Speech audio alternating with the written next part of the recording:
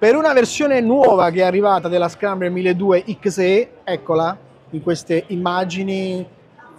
un po' rivoluzionate esteticamente, tecnicamente, con tante eh, chicche che Triumph ha equipaggiato per la Scrambler 1200X, direte cosa c'entra? Perché per una novità, insomma che poi non è tanto una novità, un aggiornamento importante di una moto, arriva in realtà poi una edizione finale di un'altra moto, iconica, davvero molto rappresentativa per Triumph, che è la Traxxon Sappiamo, ahimè, che eh, questa sarà eh, l'ultima stagione di produzione di questa motocicletta, che ha una storia davvero incredibile per quanto si è evoluto. Innanzitutto questo motore twin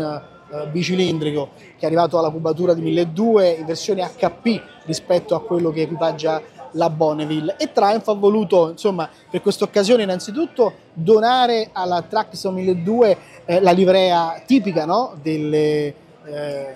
delle categorie racing inglesi, cioè questo green che ha caratterizzato insomma, il colore del, dei veicoli eh, inglesi eh, da sempre. Le cose che dobbiamo sapere è che ogni paese avrà eh, il suo quantitativo di Traxxon 1200 Final Edition. Dopodiché, una volta esaurite, ci hanno detto che soltanto per questa stagione, quindi si presume nei prossimi 12 mesi, ci sarà la possibilità di produrne altre e di consegnarle, però tutto sarà limitato molto probabilmente entro il 2024. Devo dire che io ho provato la Trackson 1200 in diverse occasioni,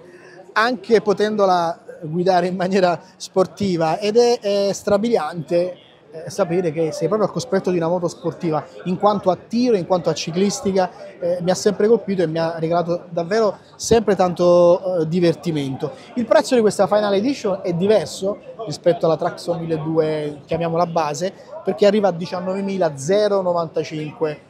euro. E insomma, visto che i numeri sono pochi, collezionisti, ma anche insomma, semplici amanti, appassionati del marchio Triumph dovranno affrettarsi per accaparrarsela